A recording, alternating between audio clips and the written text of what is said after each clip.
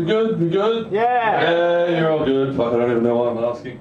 It's uh, this point in time, you're all just thinking, just make me laugh get off the stage, you giant freak. Fine, fine. Uh, we all on Facebook. Are we all part of the evil empire these days? Yes? Yes. Yeah, I left Facebook at the start of the year. And, you know, I just thought, no, fuck this, I'm doing something better. It's, it you're all pathetic sheep. I, this is ruining human interaction. I'm going to devote myself to something more. Five months later, I'm back on Facebook because I've got no fucking friends. Hi, guys. I'm back.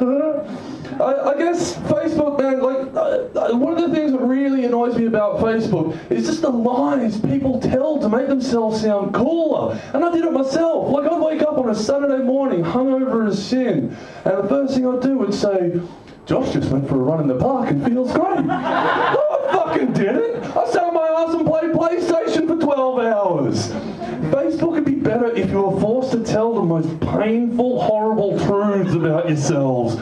From the spiteful, Jenny just saw her ex-boyfriend walking around the street with herpes sores on his mouth. That's what you get for fucking that slut. To the just plain miserable, John saw a pretty girl on the tube today and will dream of her as he masturbates furiously in a dark, empty apartment for the 45th night in a row. Oh, God, no wonder why I'm single, man. No, I don't wonder why I'm single, and it's not because I'm a pathetic loser. It's because couples are fucking boring. It's, I mean, there, there are some good couples out there, but for every good one out there, there's five boring ones that just want to talk about ethically sourced turnips and fiscally responsible shoe purchases. Fuck that! I'd rather die alone. It's, like, at my lowest point, man, I, I internet dating, but I just felt bad about lying so blatantly. Uh, yeah, sure, I'm interested in a long-term relationship that revolves around Jeremy Kyle and matching slippers. Just sleep with me. Please sleep with me. Uh, but they always saw through that, man. They always saw through that. So, you know, I don't have a girlfriend, and basically all I've got left is comedy and television. And television's fucking shit these days. Like, entertainment in the 21st century is defined by is defined by human misery and suffering. We're a voyeuristic race, man. It's the only way I can explain Big Brother and reality TV. Like, everyone, when Big Brother was on, everyone just so badly wanted to see the first people to have sex. Who's going to have sex first? Where are they going to have sex? Are they going to be any good? Fuck that. I wanted to see it taken to the next level. I wanted to see the first person get murdered on Big Brother. When people got into a fight, I was like the Emperor from Star Wars, man. Embrace the dark side of the Force. Kill them, they have no value in the outside world. At least have the decency to die for our entertainment. Yeah. Like, all I'm saying is like.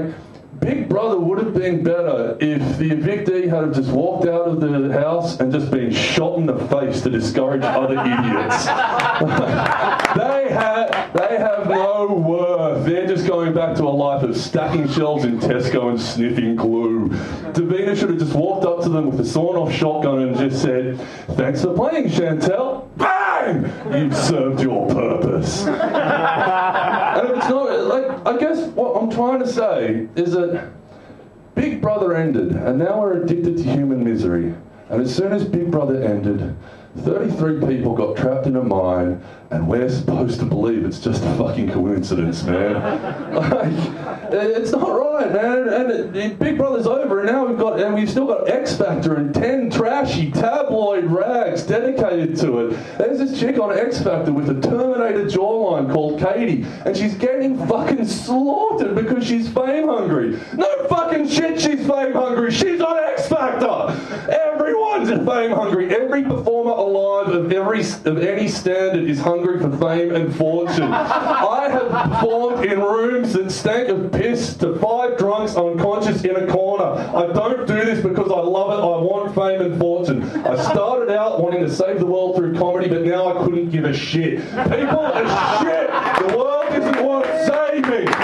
Fuck artistic integrity. I'd rather be making millions filming love scenes with Scarlett Johansson. Where do I sign up to sell my soul? Give me a morning talk show interviewing JLS. So, JLS, what inspired you to write Heal This Heartbreak? Oh, you didn't write it. What a surprise! You're such special, unique talents. Well, JLS, before we go to the ad break, I've just got one more thing to say. Bang! You served your fucking purpose! Thank you. I'm going to give this a go. uh, Here's how we're going to do it. I, I find this very uncomfortable, actually. It's a really, really strange thing to do. And of course, I can, I can easily sort of, you know, oh no.